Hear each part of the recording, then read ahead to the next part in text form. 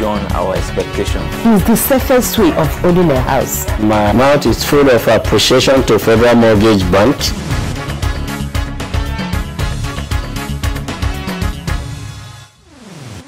Hello and welcome to this edition of the program. My name is Zuleyhat Belagobir, your host. Glad to have you join us on this program. Housing is a fundamental human need. In fact, people say aside food, housing comes next in the hierarchy of human needs. And for the average Nigerian, owning a home is of utmost priority. How best can this be done in the midst of so many needs? On this episode, we will deviate from the usual line of our program and bring you a special package about the NHF scheme. But before then, we will take updates from the diary of the FMBN. Stay tuned.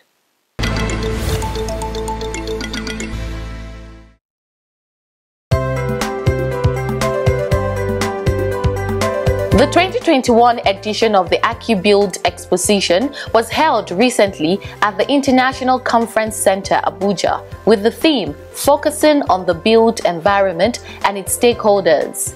In a goodwill message, the Managing Director, Federal Mortgage Bank of Nigeria, architect Ahmed Dangiwa, who was represented by the group head corporate communications Lawal Isa Kofar Sauri, called on the institute to constantly engage stakeholders on issues affecting the environment.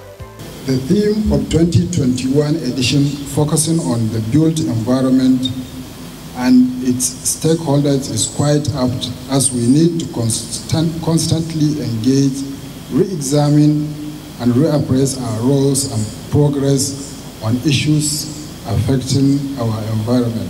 He also called on government at all levels to adopt measures to promote citizen inclusiveness.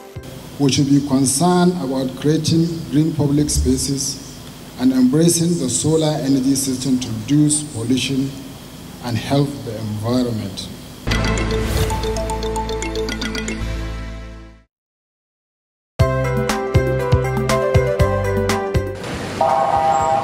Nigerians from all walks of life besieged Ibadan, the Oyo state capital, to witness the burial of the former board chairman of the Federal Mortgage Bank of Nigeria, late Dr. Adewale Adeyo, who died on the 15th of October 2021. Prominent among them were the former governor of Ogun State, Senator Ibikunle Amosun, chairman Dangote Groups, Aliko Dangote, the Timi of Ede, where the late chairman hailed from, the managing director, Federal Mortgage Bank of Nigeria, architect Ahmed Dangiwa, business associates and colleagues. The burial was preceded by funeral prayers graced by family members, friends, and sympathizers.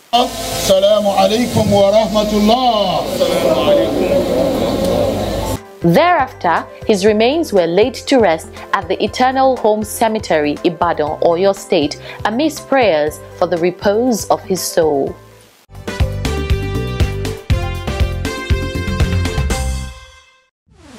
Like I mentioned earlier, we will veer off the usual and bring you a special package titled Reflections on NHF, what it is, and how it affects the housing industry in Nigeria. Do stay tuned.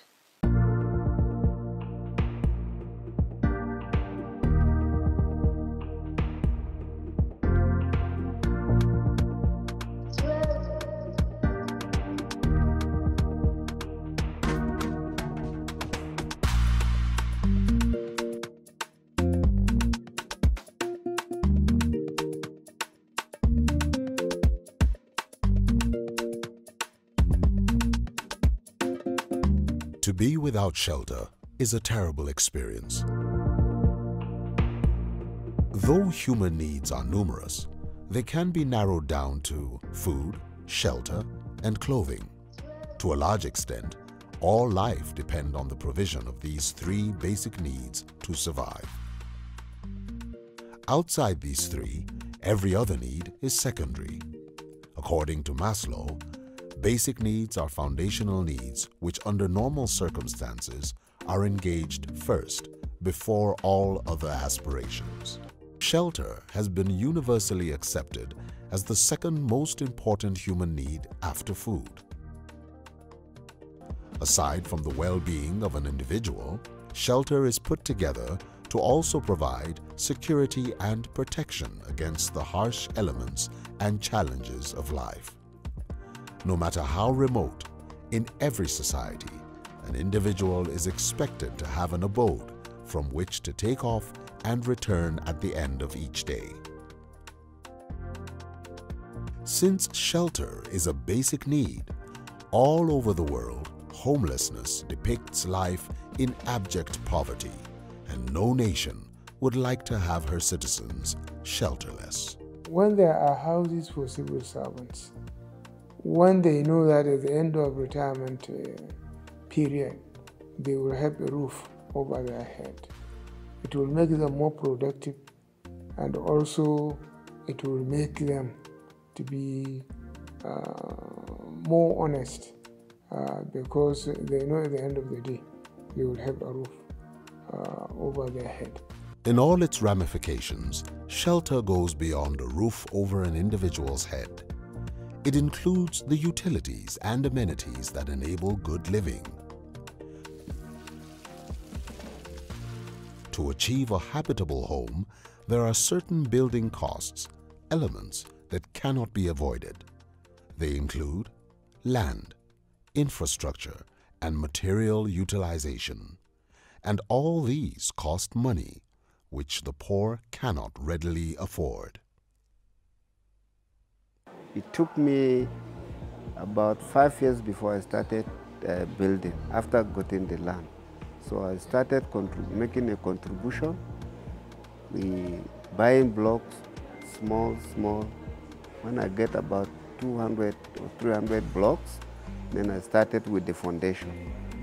It took me after then, it took me two, three years gathering another block again before jacking up the, the house. Started building the house, so went to the lintel level. It took me time again, about two years, before we start the lintel and the, the roofing level. So it was not an easy thing. Before you even uh, zinc the house, you enter the house, you buy the doors and whatsoever. It is not a small thing. So I really suffered very well before I got into that house. I even entered the house, there was no even uh, plastering. I just enter like that. I fix the doors, fixing the doors, the back door and the main door. We put windows, we just enter from there. They start plastering one room from one room to another. The largest expense incurred in most families by far has remained housing. Current expenses on housing include loans, mortgage or rent payments, taxes, repairs, insurance, utilities, etc. The burden of these bills most times is heavy and unbearable to the low and medium income earners within every society. This situation has left many households without habitable homes, especially in most developing countries. I would love to own a house, only that it seems impossible, you know. I hardly, I can, I could barely pay my rent, so I don't know. No, it will be, it's a, it's a dream, it's a very nice idea. You always think about it, like, but is it even possible with the situation in Nigeria now, where most of your uh, earnings or monthly income goes into food, clothing, light, you know, from the look of things and the way things are going up. Have you been to the market recently? Buying things you cannot afford like normally on Sunday you cook rice and stew, but now you can't even do that. You manage jollof rice, that is for those that have jollof rice. So it's actually difficult, very, very difficult. In Nigeria, the seventh most populous country in the world, home to more than 200 million people, the cost required to build a habitable low-cost house has been on the increase.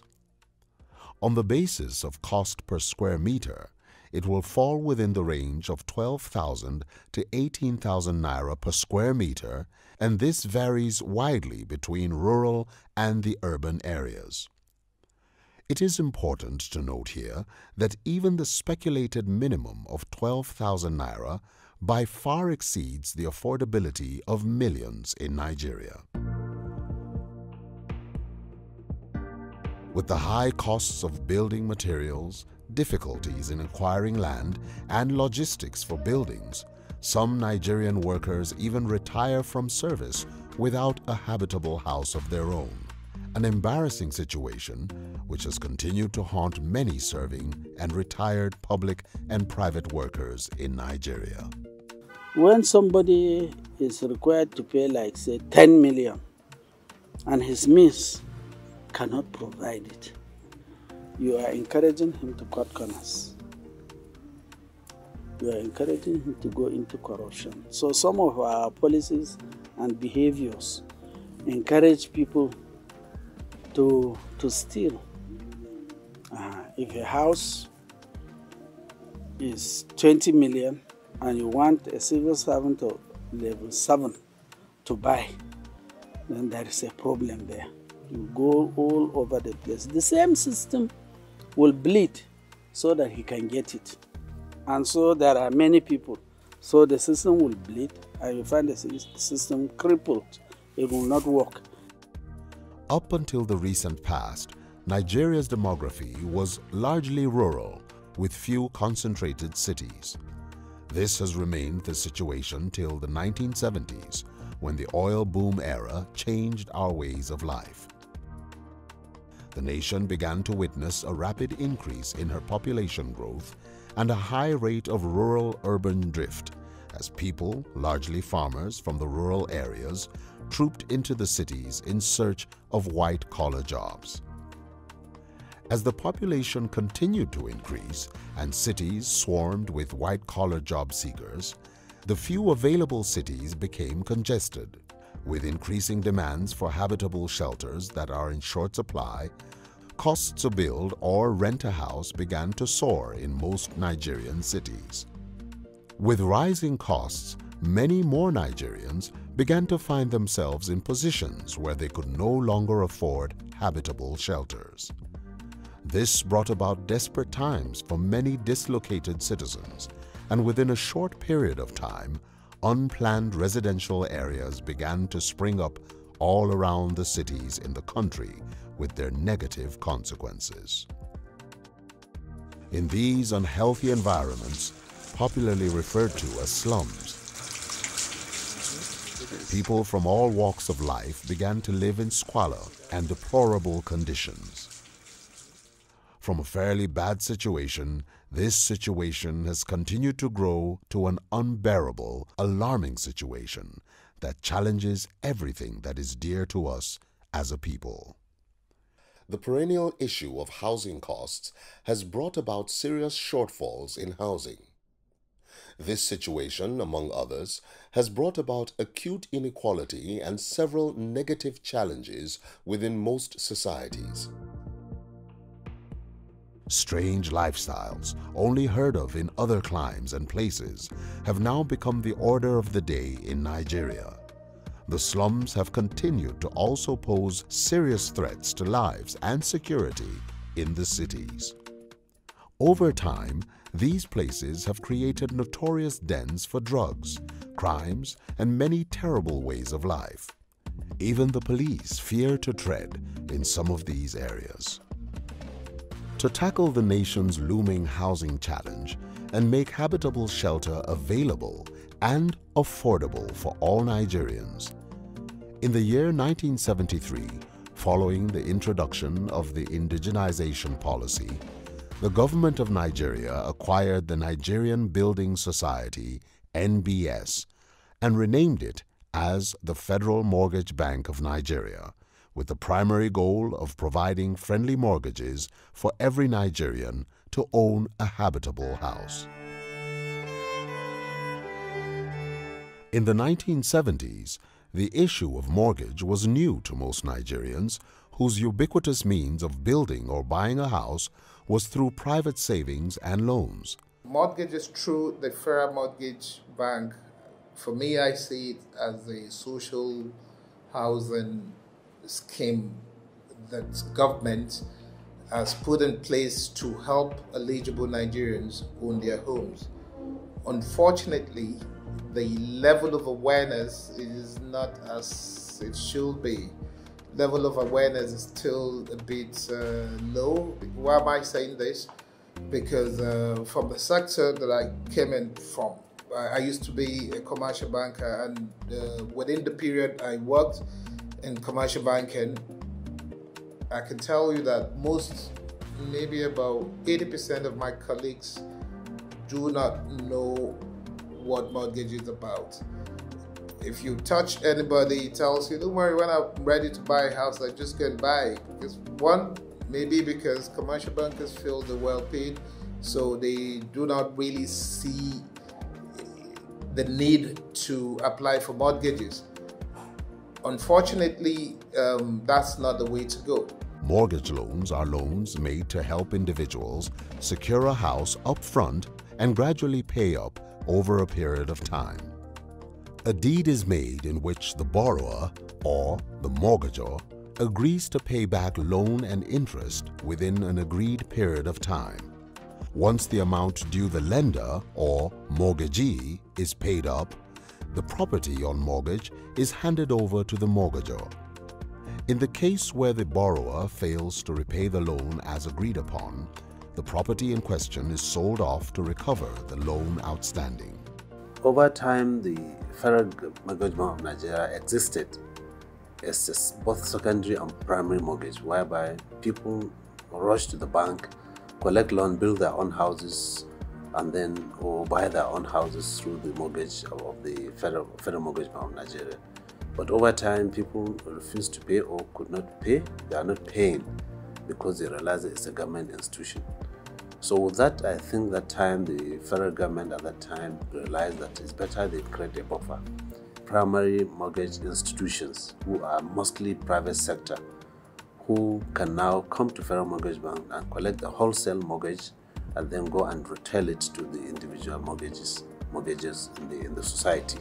The Mortgage Institution Decree number 53 of 1989 created a two-tier mortgage loan structure for Nigerians with the Federal Mortgage Bank of Nigeria, FMBN, as the apex institution in the housing sector.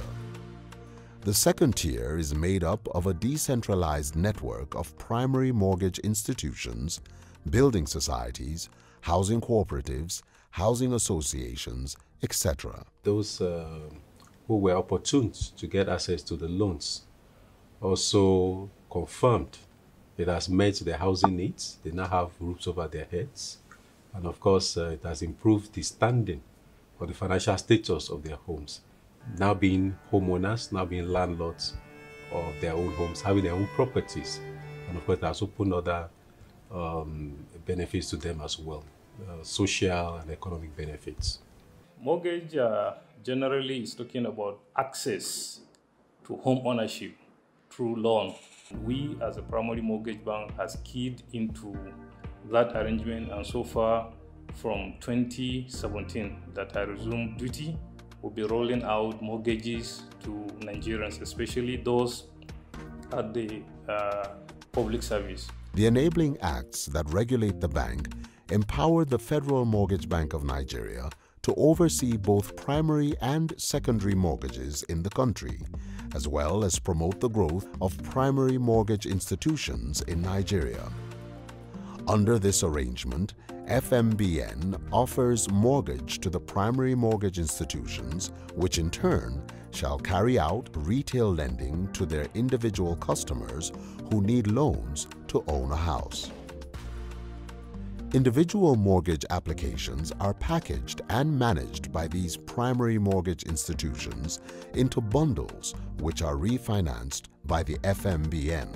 So which means that the primary mortgage banks wait on FMBN to provide the funding and then they take a spread in terms of the profit that they make and then they on lend. But if we were a mature economy, the primary mortgage banks will raise money on their own, create the mortgages on their own, and then approach FMBN for refinancing of those mortgages. To ameliorate the situation, most governments have come up with several means of interventions to help citizens own houses of their own. The Federal Mortgage Bank of Nigeria was saddled with the responsibility of providing low-interest loans to credible developers across the country engaged in affordable housing and real estate developments. Given its unique position in the nation's building industry, the bank was also required to provide the capital market the necessary incentives required to encourage investments in property development. Sadly, for the bank, her mandate was way beyond her ability to deliver, given her low capital base and grossly inadequate resources from the beginning. If we were a society that had concentrated living uh, in cities, then the problem of housing would have been very obvious very, very early in life of, the, of this uh, country or this republic than it was because many people uh, lived in villages and nobody really bothered uh, what the quality of housing they had in those villages because it was traditional form of housing. And until they began to come to the cities and crowd the cities uh, over the long period of time that it began to become very clear to government that, oh, so we have a huge problem here of getting our people housed properly. To move forward, the need to raise substantial housing funds to finance mortgages and housing loans in the country had to be addressed. In the year 1992, the National Housing Fund NHF Act number 3 was introduced by the then government of Ibrahim Babangida to raise a huge pool of funds required to combat the challenges inhibiting progress within the housing sector in Nigeria. This gave birth to the National Housing Fund Scheme in Nigeria. The NHF was basically an agency or a fund created uh, for affordable housing for the Nigerian public. And it had six principal um, uh, motives in dealing with this issue of affordable housing.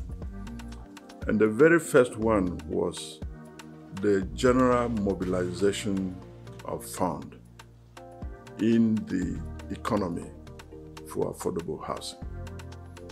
And the second was to provide loans to the Nigerian public specifically meant for uh, development, development of housing uh, for the poor people or the not so rich people in the country. The National Housing Fund, NHF, was designed as a social saving scheme for all Nigerian workers, both in the public and private sector. Given the low income levels in Nigeria, to achieve the sustainable large pool of funds that is adequate enough for the scheme, the Act also mandated certain categories of investments from banks, insurance companies, and periodic massive capital support by the federal government of Nigeria. The Act earmarked statutory capital base of 5 billion naira and principal shareholders made up of the federal government of Nigeria, FGN, 50%, the Central Bank of Nigeria, CBN, 30%, and the National Social Insurance Trust Fund, NSITF, 20% respectively. The Act also stipulated a 2.5% basic wage mandatory contribution from all Nigerian workers. When the bank was created in 1993 as FMBN through an act of parliament, the shareholders were basically the federal go go uh, government of Nigeria 50%, the Central Bank of Nigeria that owns 30%, and the Nigerian Social Insurance Trust Fund 20%. But only the federal government made good its capital contribution of 2.5 billion naira because the capital at inception was 5 billion. And it is only that 2.5 billion that has been the capital of the bank. CBN are supposed to collect uh, investments from commercial banks, 10% of their loan portfolio. Whatever they budgeted to give as loan for every year, they should cut 10% of it and send to Federal Mortgage Bank Nigeria as an investment for FMBN to give concessionary uh, affordable loans for low income earners to acquire their house. That's what the initial act states. But since the inception of the act, CBN has not done that. Neither the commercial bank has done that investment. It's a huge sum of money because the bank needs this kind of money in order to create affordable mortgages for Nigerians at single digit of 6% over a long period of 30 years. If you go to these commercial banks to get a mortgage loan, they can't give you more than five years mortgage. And they can't give you less than 26%. But this is a bank that was set up to give a mortgage of 6% over a period up to 30 years of your life.